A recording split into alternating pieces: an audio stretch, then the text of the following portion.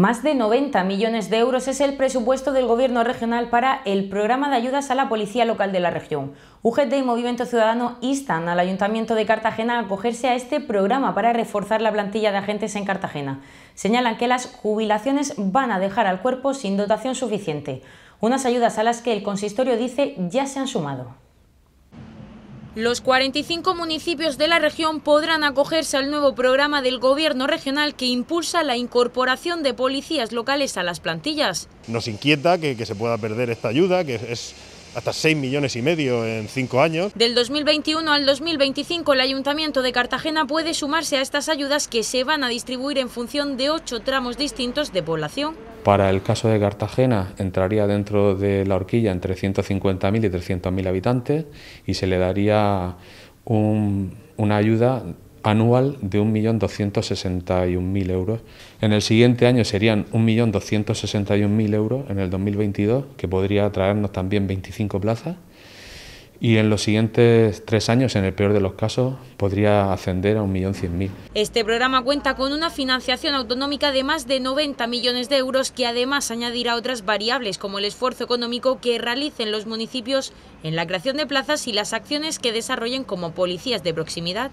Un cuerpo de policía que tras las próximas jubilaciones volvería a quedarse sin dotación suficiente. El ayuntamiento se garantizaría que podría dotar de, personal que está tan falto el Ayuntamiento de Cartagena y concretamente en la policía local, podría dotarlo eh, pues a coste cero prácticamente. Que siempre hemos criticado desde TMC y que intentamos subsanar aprobando en su momento la primera oferta de empleo público con policías locales, que fue la de 2016, pues nos permite a lo mejor llegar a cubrir hasta 40 50 vacantes más. Se trata de fomentar la policía de proximidad, una cuestión que ya se está haciendo, tenemos cuarteles en distintas zonas del municipio y creemos que debe de abundarse en ese modelo en el que la gente sienta la tranquilidad de tener esos agentes a, a su disposición y la seguridad de todo el municipio. El Grupo Municipal Movimiento Ciudadano exigirá en el pleno del próximo jueves que el Ayuntamiento de Cartagena concurra a este programa regional. Vamos a llevar a pleno porque bueno, contactó con nosotros la, central sindical y nos informó de, de, este plan de ayudas.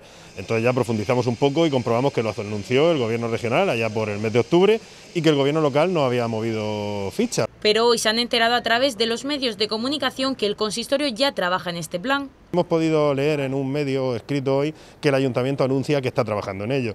Es una cuestión que nos suele ocurrir mucho, la de que cuando lo, lo, anunciamos nosotros nos dicen que están en ello. Nos alegra que estén en ello porque creemos que lo necesario son los agentes y acudir a esas fuentes de financiación externa que posibiliten, como decimos, que haya más seguridad en el municipio. Lo que nos entristece es que hayan tardado dos meses en decir que están en ello y solo haya sido después de presentar nosotros la iniciativa al pleno. Nos alegramos y nos hemos enterado por prensa. Nos hubiera gustado enterarnos en mesa pero no hemos enterado por prensa que parece ser que ya hay movimiento con esto y bueno, también vimos al principal partido de la oposición, que, eh, que bueno, que fue el partido que ganó las elecciones el año pasado eh, y bueno, pues estamos viendo que ha visto coherente esta, esta petición.